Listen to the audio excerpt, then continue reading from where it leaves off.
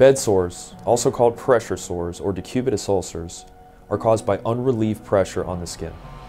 These painful wounds develop when a patient is left in their bed or their wheelchair for far too long. Bed sores commonly develop on a person's backside or on their heels, and the primary cause of these bed sores is negligence. Bed sores can be prevented through appropriate nursing care.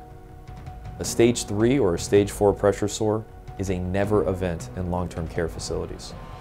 Tragically, 60% of patients with bed sores die within one year of developing the wound. If a patient is at risk for bed sores, the standard of care dictates that they be moved and repositioned at least every two hours. This is the sole job of the nursing home or hospital nurses. Since bed sores are a largely preventable injury, there is usually no excuse for them to develop.